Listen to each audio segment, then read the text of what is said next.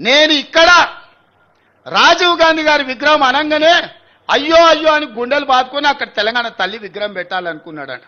పదేళ్ళు ఏ గాడిద పండ్లు దోవినామని నేను అడుగుతున్నా. ఇక్కడ తెలంగాణ తల్లి విగ్రహం మేము పెట్టొద్దన్నమా? ఆ సన్నాసి సొంత విగ్రహం పెట్టుకుందామని ఇది రిజర్వ్ చేసి పెట్టుకున్నాడు. ఆ సన్యాసికి ఆ పక్కన బుద్ధుడు ఈ పక్కన బుద్ధిలోనూ పెట్టుకోవాలని వాళ్ళ ఆలోచన. పోయి ఇవాళ మనం పెట్టిన విగ్రహాన్ని అవహేళన చేసి తొలగిస్తామంటారు ఎవర్రా తొలగించేటోడు? ఒక్కడు రాండి. రాండి ఎప్పుడు వస్తారో తారీఖు చెప్పండి బిడ్డ. రాజీవ్ గాంధీ విగ్రహం తీస్తారంట. ఎవడొస్తాడో నేను చూస్తా. ఈరోజు ట్విట్టర్ పిట్టర్ ట్విట్టర్లో పెడుతున్నాడు. అమెరికా పోయి కంప్యూటర్ చదువుకున్నా అంటున్నాడు. ఆ కంప్యూటర్ని పుట్టించింది ఈ దేశానికి పరిచయం చేసిందే రాజీవ్ గాంధీ సన్నాసి. లేకపోతే ఇక్కడనే ఎక్కడనో గుంటూరులో ఇడ్లీ కూడా అమ్ముకుంటూ తిరిగేటోనివి. ఎందుకంటే ఆడికి చదువుకుంటా అని పోయినావు కదా?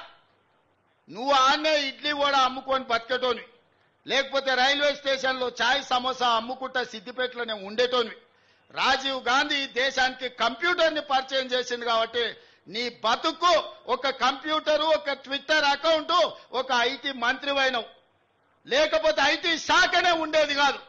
రాజీవ్ గాంధీ గారు ఐటీ రంగాన్ని ఈ దేశానికి పరిచయం చేసిండు కాబట్టి ఆ సన్నాసి ఐటీ శాఖకు మంత్రి అయిండు. లేకపోతే ఆ దిక్కుమాలలోని బాధనే మనకు ఉండేది కాదు.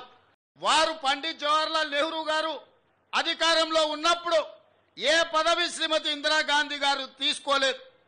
నేను ఎందుకు ఈ మాట చెప్పదలుచుకున్నా అంటే పదే పదే కొంతమంది సన్నాసులు కుటుంబ రాజకీయాల నుంచి వారసత్వ రాజకీయాల గురించి మాట్లాడుతుంటారు. పండిత్ జవహర్లాల్ నెహ్రూ గారు ప్రధానమంత్రిగా ఉన్నంత కాలం శ్రీమతి ఇందిరాగాంధీ గారు ప్రభుత్వంలో ఏ బాధ్యత తీసుకోలేదు. వారి తర్వాత ప్రధానమంత్రులు మారి ఆ తర్వాత ఇందిరాగాంధీ గారు ఈ దేశానికి ప్రధానమంత్రిగా బాధ్యతలు చేపట్టారు.